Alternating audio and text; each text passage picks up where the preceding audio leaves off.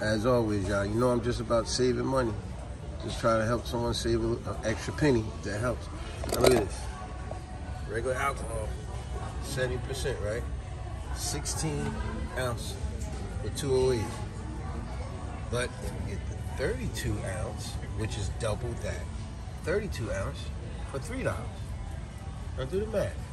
This one is 32 ounce, as you see, which 16 plus 16 is 32. What makes sense, y'all? Real simple. If you bought two of these, that would be one of those. Two of these would be four dollars and sixteen cents. If you just bought the 32, it's three dollars. Simple math, folks. Simple math. Be a smarter shopper. Save an extra penny.